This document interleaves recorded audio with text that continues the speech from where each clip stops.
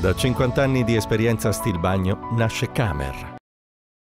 Inaugurato lo scorso venerdì pomeriggio il presepe di Piazza Sant'Antonio a Morbegno, curato come sempre da Croce Rossa Italiana, comitato locale, e un pezzo di storia della città del Bitto, tramando un messaggio universale di amore, unione e fratellanza un simbolo di radicamento e presenza nel territorio, senza dubbio il presepe cardine dei 24 installati tra le vie e le frazioni della città.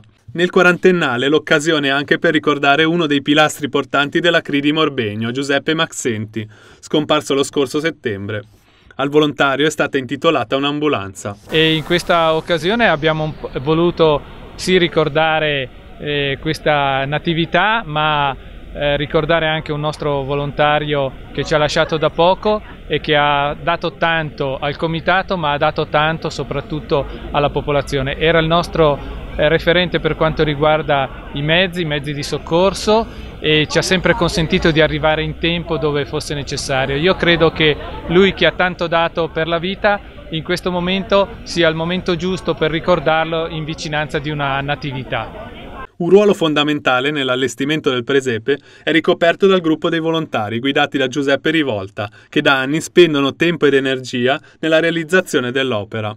Senza dimenticare il supporto finanziario della Fondazione Nea Mattei, da dieci anni al servizio di questa iniziativa. La Fondazione ha come scopo non solo quello di contribuire alla formazione, alla scuola, eh, per i nostri studenti, ma anche quello di valorizzare la cultura, l'arte e le tradizioni. E meglio del presepe e la realizzazione con i volontari della Croce Rossa eh, riteniamo che sia uno di quegli obiettivi che persegue la stessa fondazione. Mi piace ancora di più eh, ricordare una cosa, di tutte le persone, anche quelle che non ci sono più, che hanno sempre dato un contributo alla costruzione di questo presepio perché è diventato nella, nel tempo un pezzo di, così, di, di racconto della memoria morbegnese. Momento importante poi, per la Croce Rossa di Morbegno, il conferimento della medaglia d'oro alla memoria di Monsignor Gabriele Comani, fondatore della CRI di Morbegno, cappellano capo, ausiliario, Forze Armate, direttore dell'archivio storico della Croce Rossa italiana,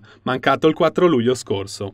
A ritirare l'onorificenza alla Convention Jump 19 di Milano, alla presenza della delegazione CRI della città del Bitto, il fratello Paolo Comani. Ecco la motivazione si è adoperato nella sua lunga militanza nel corpo con slancio e competenza per supportare il personale e tutti coloro i quali si trovavano in situazioni di bisogno sia in Italia che all'estero.